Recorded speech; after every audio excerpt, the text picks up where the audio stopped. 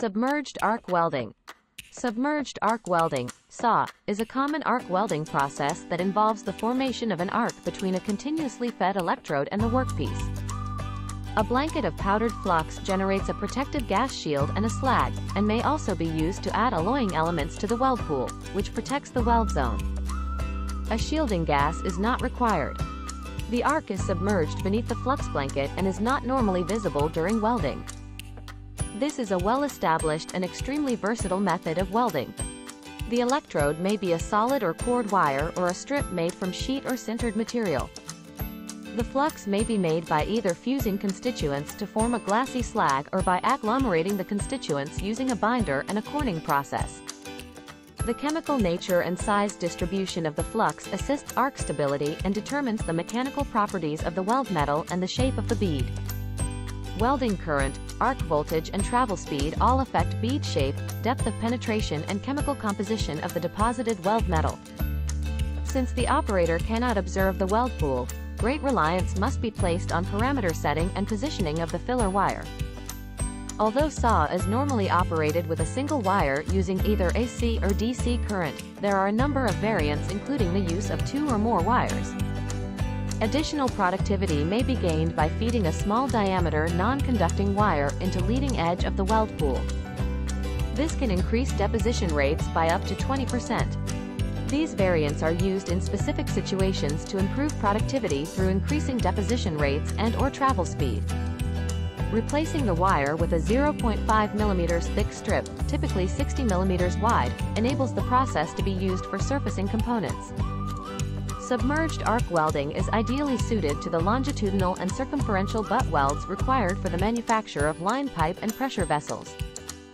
Welding is normally carried out in the flat position because of the high fluidity of the weld pool and molten slag and the need to maintain a flux layer. The followings are the advantages of SAW welding. It has a high deposition rate. The single pass can be made in thick plates using normal equipment.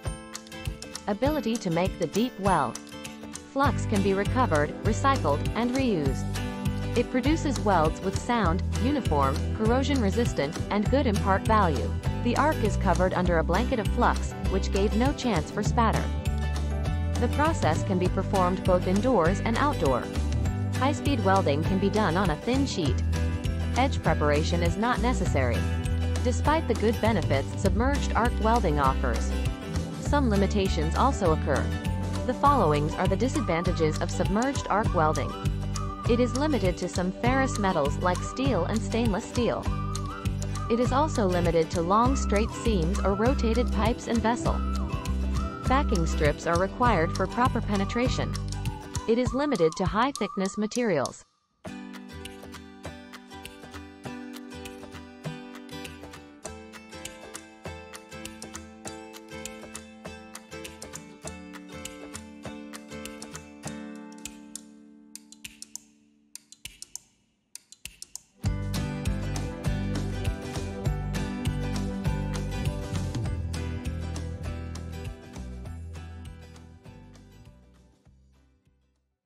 TIG is a difficult process to master. It takes more knowledge, dexterity, time, and experience than other processes but pays off with better, more beautiful, and stronger welds. The main way TIG differs from other processes is its electrode. The electrode in the torch is a short tungsten rod, sharpened to a point. The difference is that the electrode isn't consumed. Instead, while working the torch with one hand, the operator feeds a long rod made of filler metal into the weld puddle. This metal rod is consumed by the weld puddle. The electrode only strikes and maintains the arc to melt the metal as a flame torch would. Favorable results depend greatly on the operator to handle the torch well, control the heat level and feed the filler rod at just the right speed. Like a MIG setup but with no wire feeding mechanism, the TIG torch connection carries pressurized inert gas to flood the arc region. The usual shielding gas for TIG welding is argon. MIG welding is a simple, popular form of welding. A novice can operate and master the art easily. MIG stands for metal inert gas and sometimes may be called gas metal arc welding, GMAW. It is a semi-automatic, quick process where filler wire is fed through the gun, and shielding gas is expelled around to protect from environmental impurities. The filler wire is fed on a spool to act as an electrode as well. The tip of the wire acts as an electrode to create the arc with base metal which melts as filler material to create the weld. The process is continuous and requires presetting of the parameters as per the welding need. The versatile process to weld an extensive list of metals which produces a clean, smooth, and visually appealing weld bead. These welding types are sensitive to external factors like rain, wind, and dust making them not great for outdoor use. The quality problem with MIG welding includes dross and porosity to make the structure weak. The commonest use of the MIG welding process is in automotive repair, construction, plumbing, robotics, and the maritime industry. The welding offered is sturdy, strong, and can withstand enormous force.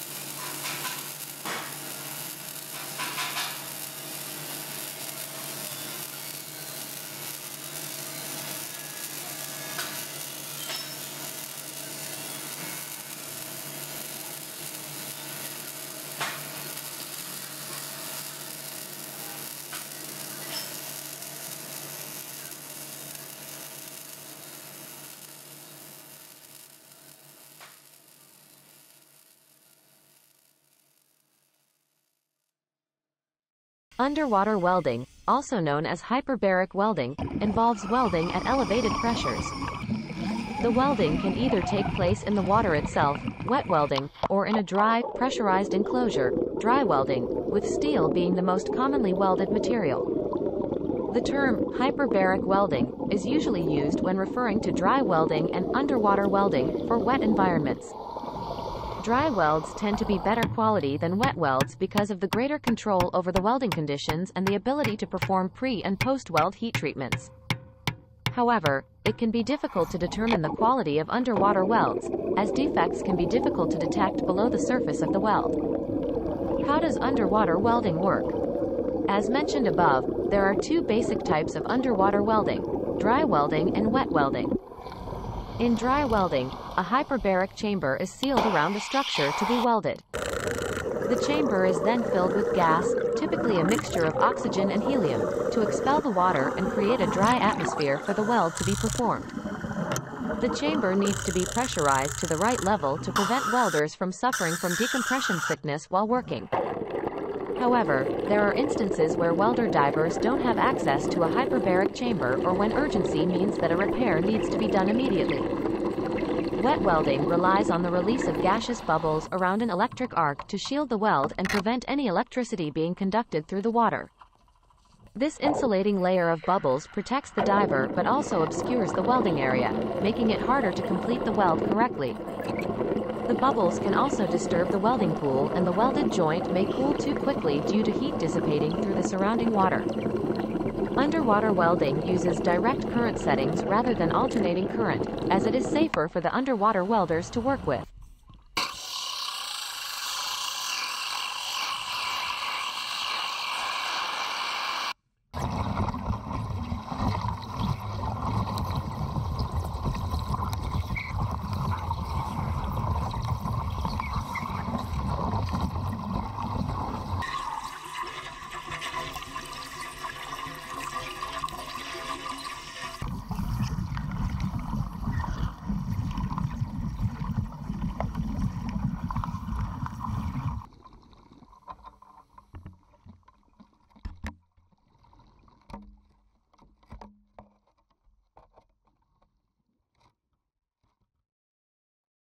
Friction stir welding, FSW, is a solid-state joining process that uses a non-consumable tool to join two facing workpieces without melting the workpiece material. Heat is generated by friction between the rotating tool and the workpiece material, which leads to a softened region near the FSW tool.